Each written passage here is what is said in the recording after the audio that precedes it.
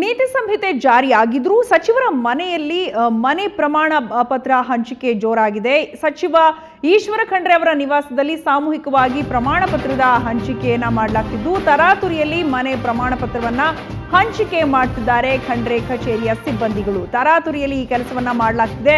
ಜನರು ಸಾಲುಗಟ್ಟಿ ಪ್ರಮಾಣ ಪತ್ರವನ್ನ ಪಡೆಯೋದಕ್ಕೆ ಮುಂದಾಗಿದ್ದಾರೆ. ಭಾಲ್ಕೆ ಪಟ್ಟಣದಲ್ಲಿರುವಂತಹ ಈಶ್ವರ ಖಂಡ್ರೆ ಅವರ ನಿವಾಸದಲ್ಲಿ ಈ ರೀತಿ ಅಕ್ರಮ ನಡೀತಾ ಇರುವಂತದ್ದು ನೀತಿ ಸಂಹಿತೆ ಜಾರಿ ಆದ ಮೇಲೂ ಈಶ್ವರ್ ಖಂಡ್ರೆ ಬೆಂಬಲಿಗರಿಂದ ಈ ರೀತಿ ಅಕ್ರಮ ನಡೀತಿದೆ. ಸಚಿವ ಈಶ್ವರ್ ಖಂಡ್ರೆ ನಿವಾಸದಲ್ಲಿ ಸಾಮೂಹಿಕವಾಗಿ ಪ್ರಮಾಣ ಪತ್ರವನ್ನ ಹಂಚಿಕೆ ಮಾಡಲಾಗ್ತಿದೆ. ಮಾಜಿ ಬಿಜೆಪಿ ಶಾಸಕ ಪ್ರಕಾಶ್ ಖಂಡ್ರೆ ಅವರಿಂದ ಚುನಾವಣಾಧಿಕಾರಿಗಳಿಗೆ ಈ ಸಂಬಂಧ ದೂರನ್ನ ಕೊಡಲಾಗಿದೆ. ಜನರು ಕೂಡ ಸಾಲುಗಟ್ಟಿ ಈ ರೀತಿ ಪತ್ರವನ್ನ ಪಡೆದುಕೊಳ್ತಾ ಇದ್ದಾರೆ.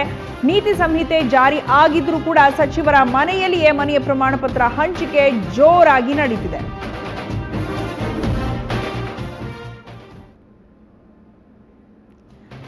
ಎಸ್, ನಾವೀಗ ದೃಶ್ಯಾವಳಿಯಲ್ಲಿ ಗಮನಿಸಬಹುದಾಗಿದೆ. ನೀತಿ ಸಂಹಿತೆ ಜಾರಿ ಆದ ನಂತರವೂ ಕೂಡ ಖಂಡ್ರೆ ಅವರ ನಿವಾಸದಲ್ಲಿ ಮನೆ ಪ್ರಮಾಣ ಪತ್ರ ಹಂಚಿಕೆ ಮಾಡ್ತಾ ಇರುವಂತಹ ದೃಶ್ಯಾವಳಿಗಳು ಇದೀಗ ಸರಿಯಾಗಿದೆ. ಜನರು ಕೂಡ ಸಾಲುಗಟ್ಟಿ ನಿಂತು ಪ್ರಮಾಣ ಪತ್ರವನ್ನ ಪಡೆದುಕೊಳ್ತಾ ಇದ್ದಾರೆ. ಭಾಲ್ಕಿ ಪಟ್ಟಣದಲ್ಲಿರುವಂತಹ ಈಶ್ವರ್ ಖಂಡ್ರೆ ಅವರ ನಿವಾಸದಲ್ಲಿ ನಡೀತಾ ಇರುವಂತಹ ಅಕ್ರಮದ ದೃಶ್ಯಾವಳಿಗಳನ್ನ ನಾವೀಗ ನೋಡ್ತಾ ಇದ್ದೇವೆ. ಸಾಲುಗಟ್ಟಿ ನಿಂತು ಜನರು ಪ್ರಮಾಣ ಪತ್ರವನ್ನ ಪಡೆದುಕೊಳ್ತಿದ್ದಾರೆ. ನೀತಿ ಸಂಹಿತೆ ಜಾರಿ ಆದರೂ ಕೂಡ ಖಂಡ್ರೆ ನಿವಾಸದಲ್ಲಿ ಈ ರೀತಿ ಮನೆಯ ಪ್ರಮಾಣ ಪತ್ರದ ಹಂಚಿಕೆಯನ್ನ ಮಾಡಲಾಗ್ತಿದೆ. ಈ ಸಂಬಂಧ ಬಿಜೆಪಿಯ ಪ್ರಕಾಶ್ ಖಂಡ್ರೆ ಮಾಹಿತಿಯನ್ನ ಕೊಟ್ಟಿದ್ದಾರೆ. ಭಾಲ್ಕಿ ಪಟ್ಟಣದಲ್ಲಿರುವಂತಹ ಈಶ್ವರ್ ಖಂಡ್ರೆ ಅವರ ನಿವಾಸದಲ್ಲಿ ನಡೆದಿರುವಂತಹ ಅಕ್ರಮದ ವಿಚಾರ ಇದೀಗ ಹೊರಬಿದ್ದಿದೆ.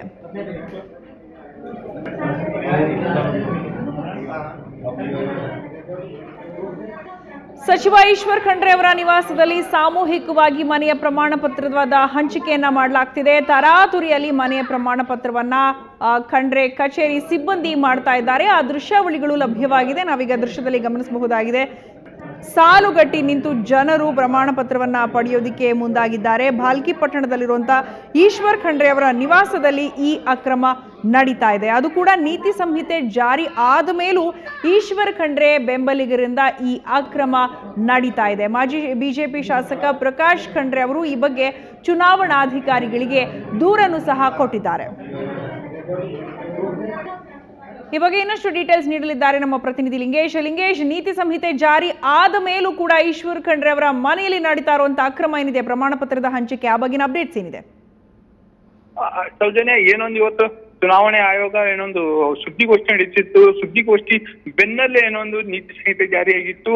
ನೀತಿ ನೀತಿ ಸಂಹಿತೆ ಜಾರಿಯಾದ್ರೂ ಕೂಡ ಏನೊಂದು ಅಂದ್ರೆ ಈಶ್ವರ್ ಖಂಡ್ರೆ ಅವರ ಮನೆಯಲ್ಲಿ ಏನದ ಅಂದ್ರೆ ಏನೊಂದು ಉಳಿದ ಮನೆಗಳಿರ್ತವೆ, ಸಲ, ಸರ್ಕಾರದ ಏನೊಂದು ಮನೆಗಳಿರ್ತವೆ, ಅವು ಅವು ಉಳಿದಿರುವ ಮನೆಗಳನ್ನ ಏನಾದ್ರೂ ಹಂಚ್ತಾ ಇರುವಂತದ್ದು, ಅದ್ರ ಪ್ರಮಾಣ ಪತ್ರಗಳನ್ನ ಏನದ ಅಂದ್ರೆ ಅವರು ಉಳಿದ ಫಲಾನುಭವಿಗಳಿಗೆ ಮನೆಗೆ ಏನಾದ್ರೆ ಕರೆಸಿ ಕೊಡ್ತಾ ಇರುವಂತ ದೃಶ್ಯ ನೀವು ನೋಡ್ಬೋದು.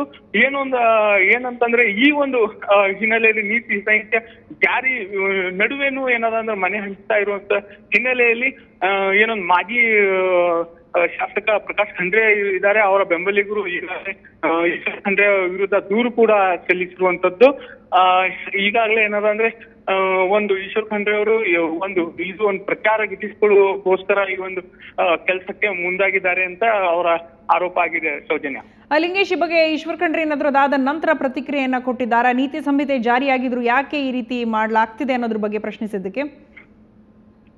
ಸೌಜನ್ಯ ಈಗಾಗಲೇ ಏನೊಂದು ಸಚಿವ ಈಶ್ವರ್ ಖಂಡ್ರೆ ಅವರು ಯಾವುದೇ ರೀತಿಯ ಪ್ರತಿಕ್ರಿಯೆ ನೀಡಿಲ್ಲ ಆದ್ರೆ ಏನೊಂದು ಈ ಒಂದು ದೂರು ನೀಡಲಾಗಿದೆ. ದೂರು ನೀಡ ನೀಡಿದ ತಕ್ಷಣವೇ ಏನಂತ ಅಂದ್ರೆ ಎಲ್ಲವನ್ನು ಅವರು ಏನೊಂದು ಒಂದ್ ಪ್ರಮಾಣ ಪತ್ರಗಳನ್ನ ಹಂಚ್ತಾ ಇದ್ರು. ಅದನ್ನೆಲ್ಲ ನಿಲ್ಲಿಸಿದ್ದಾರೆ. ಈಗಾಗಲೇ ಏನದಂದ್ರೆ ಎಲ್ಲಾ ಜನರಿಗೂ ಕೂಡ ಆ, ಯಾರ ಯಾರದವರ ಮನೆಗೆ ಕೂಡ ಕಳಿಸಲಾಗಿದ್ದು ಎಲ್ಲ ಸ್ಟಾಪ್ ಮಾಡಿದ್ದಾರೆ ಅಂತಾನೆ ಹೇಳ್ಬೋದು ಸೌಜನ್ಯ. ಓಕೆ ಲಿಂಗೇಶ್, ಧನ್ಯವಾದ. ನೀತಿ ಸಂಹಿತೆ ಜಾರಿ ಆದ ಮೇಲೂ ಕೂಡ ಈಶ್ವರ್ ಖಂಡ್ರೆ ಬೆಂಬಲಿಗರು. ಈ ರೀತಿ ಈಶ್ವರ್ ಖಂಡ್ರೆ ಅವರ ನಿವಾಸದಲ್ಲಿ ನಡೆಸಿರುವಂತಹ ಅಕ್ರಮ ಇದು ಮನೆಯ ಪತ್ರವನ್ನ, ಪ್ರಮಾಣ ಪತ್ರವನ್ನ ಕೊಡಲಾಗ್ತಾ ಇದೆ. ಈಶ್ವರ್ ಖಂಡ್ರೆ ನಿವಾಸದಲ್ಲಿ ನಡೆದಿರುವಂತಹ ಅಕ್ರಮದ ದೃಶ್ಯಾವಳಿಗಳನ್ನ ನಾವೀಗ ನೋಡ್ತಾ ಇದ್ದೀವಿ ಯಾವಾಗ ಪ್ರಕಾಶ್ ಖಂಡ್ರಿ ಬಗ್ಗೆ ಚುನಾವಣಾಧಿಕಾರಿಗಳ ಗಮನಕ್ಕೆ ತಂದರೂ ತಕ್ಷಣವೇ ಮನೆಯ ಪ್ರಮಾಣ ಪತ್ರ ಹಂಚಿಕೆ ಮಾಡೋದನ್ನ ನಿಲ್ಲಿಸಲಾಗಿದೆ ಅನ್ನೋದು ಸದ್ಯದ ಮಟ್ಟಿಗೆ ಲಭ್ಯವಾಗಿರುವಂತಹ ಮಾಹಿತಿ. ಅವರ ಕಡೆಯಿಂದ ಯಾವುದೇ ರೀತಿಯಾದಂಥ ಪ್ರತಿಕ್ರಿಯೆಯೂ ಸಹ ಬಂದಿಲ್ಲ. ಪ್ರಮಾಣ ಪತ್ರವನ್ನು ಪಡೆಯೋದಕ್ಕಾಗಿ ಜನತೆ ಕೂಡ ಮುಗಿಬಿದ್ದು ಪಡ್ಕೊಂಡಿದ್ದಾರೆ.